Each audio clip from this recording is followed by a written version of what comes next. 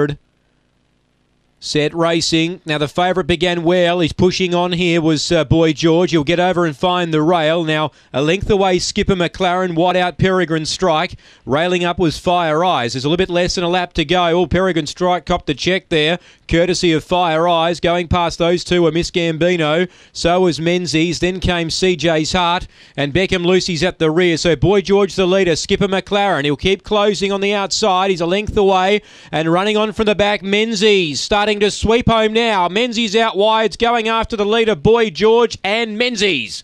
Runs down Boy George, second Skipper McLaren, third Miss Gambino, then CJ's Heart, wider out Peregrine Strike. Gee, she was in trouble early.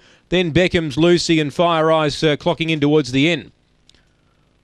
So Menzies, she got to a good spot down the back for her. She's a strong finisher. And sweeping around them on the home corner, Stuart Ellis preparing her, and she's got over the top to win. Boy George second, just got a bit tired the last little bit. And Skipper McLaren back in third. Eight, four, and five. Six gets fourth, Miss Gambino.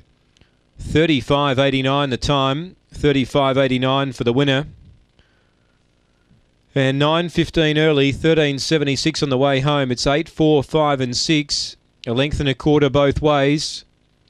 And Menzies, who've been getting a long way out of its ground and running on late, has uh, got into a good spot early and has run down some tired greyhounds over the concluding stages. 8, 4, 5, 6 here after race 9. We just await the all clear.